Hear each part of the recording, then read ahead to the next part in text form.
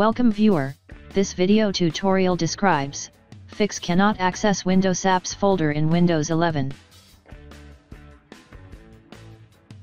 Open File Explorer, click three dots, click Options, click View tab, check Show Hidden Files and Folders.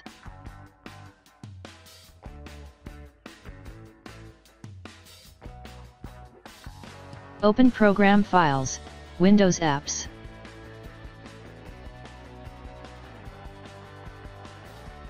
Click Security tab.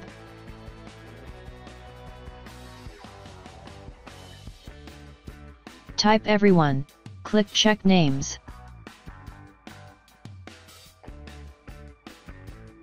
Check Replace Owner on subcontainers and objects.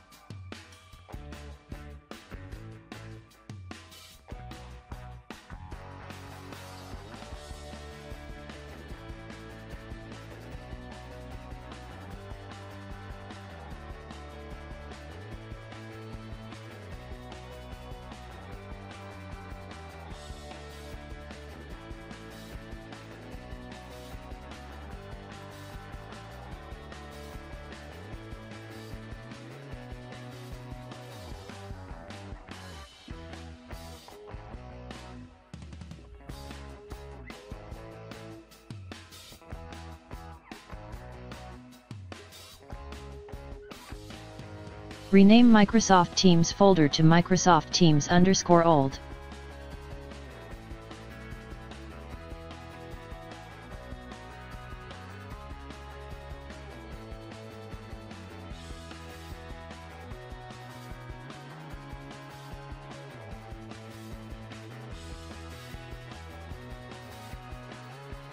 I hope this tutorial helps to you, please like, share and don't forget to subscribe our channel.